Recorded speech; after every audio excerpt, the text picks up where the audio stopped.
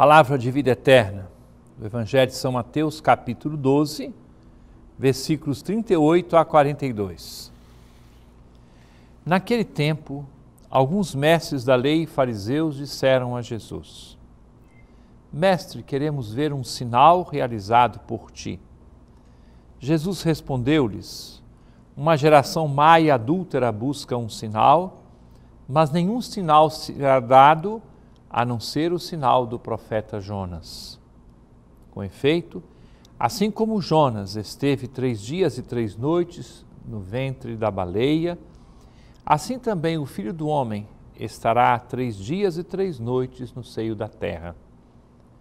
No dia do juízo, os habitantes de Nínive se levantarão contra essa geração e a condenarão, porque se converteram diante da pregação de Jonas. E aqui está quem é maior do que Jonas. No dia do juízo, a rainha do sul se levantará contra essa geração e a condenará, porque veio dos confins da terra para ouvir a sabedoria de Salomão, e aqui está quem é maior do que Salomão. Quem precisa de conversão? Quem deve ouvir o chamado à mudança de vida?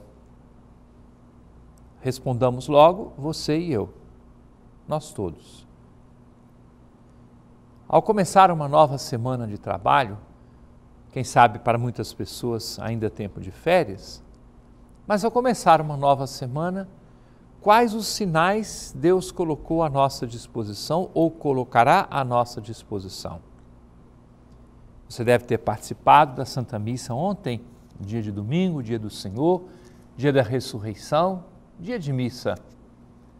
A palavra ouvida ontem certamente deverá ficar aí gravada dentro do seu coração para iluminar as decisões durante esses dias.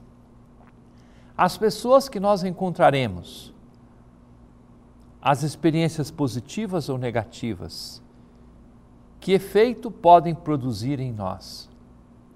Eu posso passar despercebido pela rua fora, posso encontrar-me com pessoas e situações e não colher aquilo que o Espírito Santo quer suscitar em mim em todas as circunstâncias. O grande convite é que qualquer acontecimento positivo ou negativo, qualquer coisa que ocorrer conosco, seja sinal para a nossa transformação, para a mudança de vida. É o convite que a palavra de Deus nos faz. É o apelo que o Senhor nos apresenta e nós queremos responder positivamente, com grande fidelidade, à graça de Deus. É palavra de vida eterna.